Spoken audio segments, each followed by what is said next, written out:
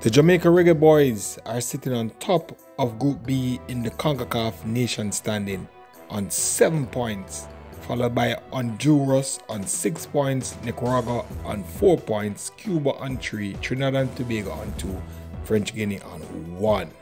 Now, let's talk about the Jamaica versus Nicaragua and also the potential 11 versus Honduras. Also going to give you my player ratings. So sit back and enjoy this short commentary. Welcome, Sports Nation, to Sports DTM, the sports channel where we call sports down the middle. You can expect the latest in sports news, views, and reviews from our resident analysts. No sports topic is too controversial, and no team or player is above criticism.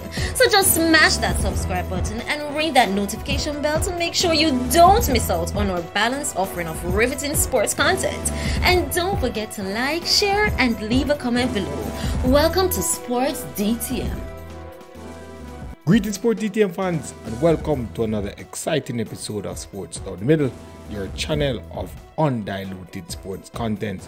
Now, the Jamaica Reggae Boyz coming off a wonderful 2 love victory over Nicaragua with an own goal coming from Josue in the 32 minute and in the 69th minute, Romario Williams goal. Now, this was a exciting match, nevertheless, to say, with some of the player really uh, showing out and standing up, especially callback player Tyreek Magee. Yes, all the Magee fans were delightful of his display of football. He played really, really exceptionally, exceptionally well. Yes, exceptionally well. So let's jump into the player ratings of the game. Now, Andre Blake was sitting in goal, and I think he did Jamaica proud. One of the best goalkeeper um, we have seen in our generation. Yes, Andre Blake, one of the really top-notch goalkeeper in CONCACAF and for the Jamaican team. So out of 10, Andre Blake get his full mark. 10 out of 10. Wonderful save. Make two wonderful save. Yes, Ethan Pinnock um, didn't have much to do, but he really stand up well. So out of 10, I give Ethan Pinnock a 8 and a half out of 10. Damion Lowe um, play good, play the usual way Damion Lowe play. Um, he, and Ethan Pinnock really make a good pair. So um, Damion Lowe got a yellow card.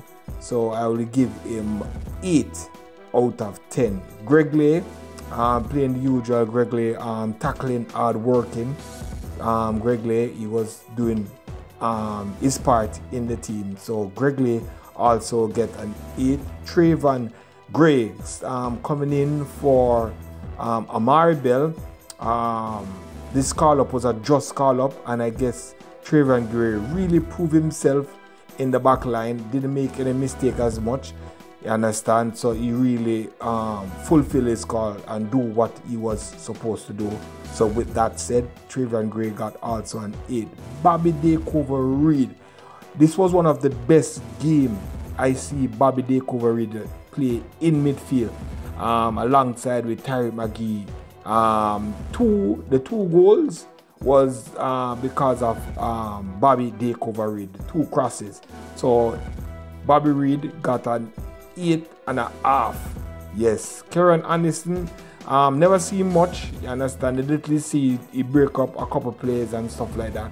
I was really settling good in midfield. He help out. So Kieran Anderson got a seven and a half. Joel Latibeaudiere was playing that holding um that defensive midfield as usual. You understand? Um, doing what he's do best. You understand? Try to break up tackle, but going forward, we didn't see much much of him. You understand? With passes and stuff like that. So with that, um, Joel Latibeaudiere got a seven. Uh, Romario Williams um, really play good, hold the ball up well.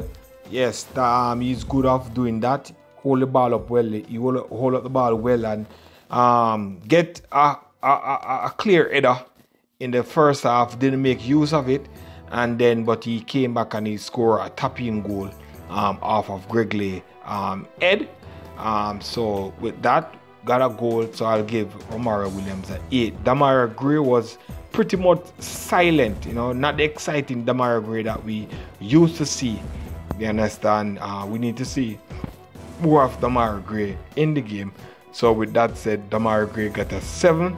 Tyreek Magee, outstanding performance in the midfield, the number 10 role, unlocking play, key pass. He was he was in he had an hand in all of the plays, in all of the goals, so to speak. Uh, a nice long range ball to to Romario Williams. Romario Williams didn't take the ball down well, so we see that he has the range to pass the ball long, short range, and locking defense some key passes.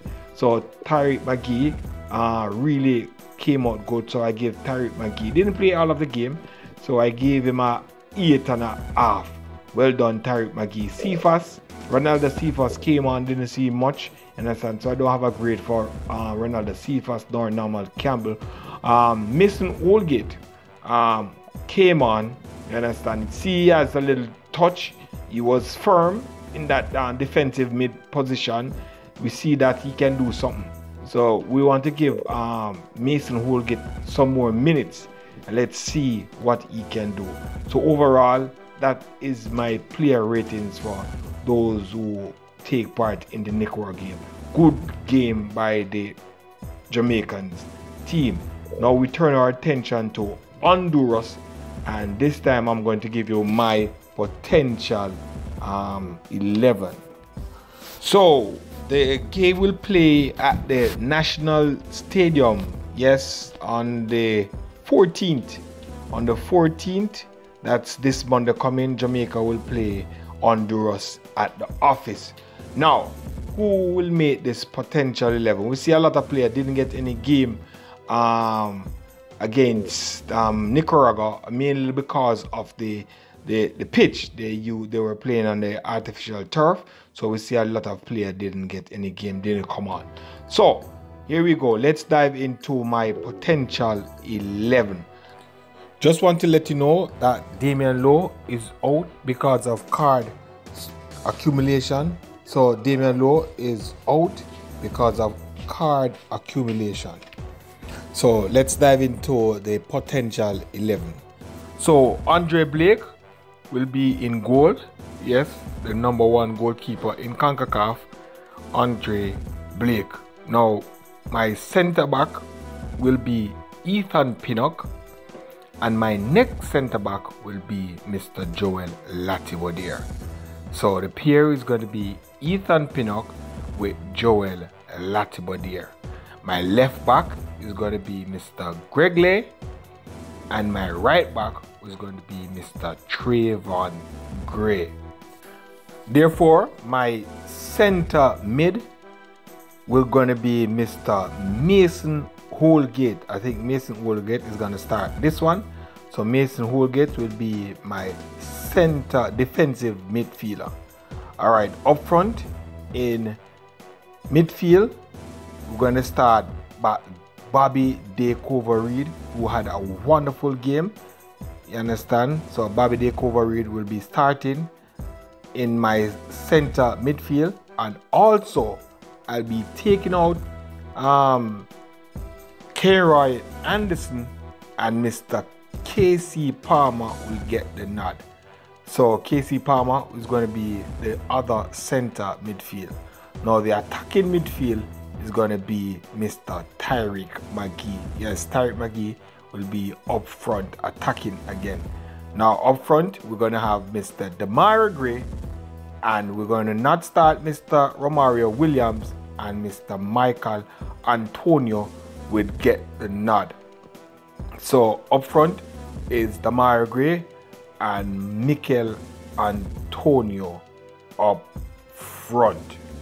So there you have it. This is my potential 11. Andre Blake, Ethan Pinnock, Joel Latibeaudiere, Greg Leigh, Tayvon Gray, Mason Holgate, Kasey Palmer, Bobby Dacover Reed, Tyreek Magee, um, Gray, and Michail Antonio.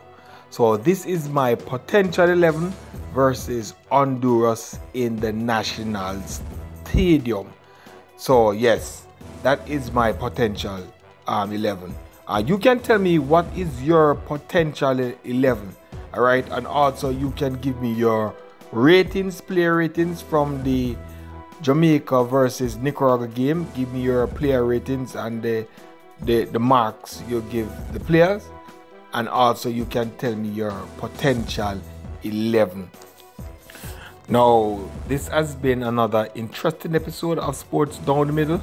Always remember to like the video, leave a comment, share, and subscribe. Don't forget to tell a friend so that friend could tell another friend and that friend could tell another friend. Be blessed.